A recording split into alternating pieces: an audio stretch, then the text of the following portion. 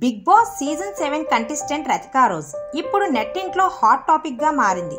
Big boss హౌస్లో తన breakup గురించి పదే పదే మాట్లాడటం తన ఎక్స్ బాయ్ ఫ్రెండ్ రాహుల్ సిబ్లిగన్స్తో కలిసి ఉన్న ఫొటోస్ బయటకు రావటమే ఇందుకు కారణం.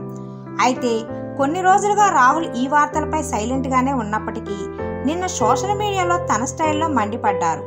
ఫేక్ సింపతి గేమ్స్ ఎప్పటి వరకు జనాలు తమ ఓన్ టాలెంట్ని ప్రూవ్ చేసుకోవాలని ప్రయత్నిస్తూ ఉంటారు.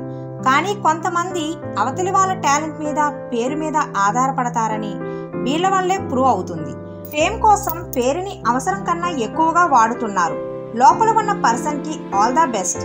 అలాగే వాళ్ళ పైసలు తీసుకున్న టీంకి కంగ్రాట్స్ అంటూ ఒక పోస్ట్ చేశారు రాహుల్. దానికి వెంటనే ఒక పర్సన్ ఒక అమ్మాయిని అలా ఎలా అనగలుగుతున్నావు నువ్వు? నువ్వు గెలిచింది కూడా సింపతి మీదే కదా? రతికాకి గట్టిగా పంచిచ్చాడు రాహుల్. అది విని కొందరు రాహుల్కి సపోర్ట్ చేశారు. అయితే కొద్దిసేపటిలో రాహుల్ ఇంకో పోస్ట్ చేశారు. నాకు ప్రశ్న ఉంది. ఆరు సంవత్సరాల తర్వాత వారు పర్సనల్ ఫోన్ నుంచి ఫొటోస్ ఎలా బయటకు వచ్చాయి?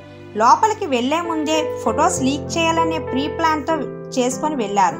ఎవరైతే సమాధానాల కోసం వెతుకుతున్నారో వారికి ఇప్పుడు ఆన్సర్ దొరుకుతుంది.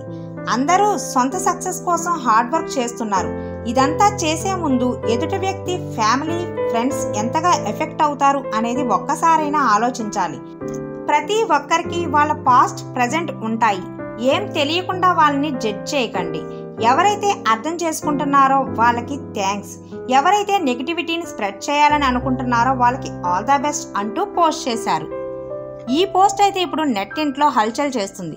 Okay friends thanks for watching video.